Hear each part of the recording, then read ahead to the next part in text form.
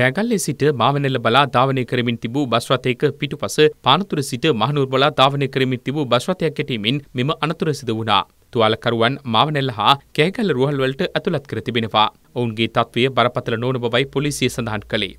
පානදුර සිට ධාවනය කළ බස් රථයේ කාර්මික දෝෂයක් හේතුවෙන් මෙම අනතුර සිදුවී ඇති බව වාර්තා වෙනවා.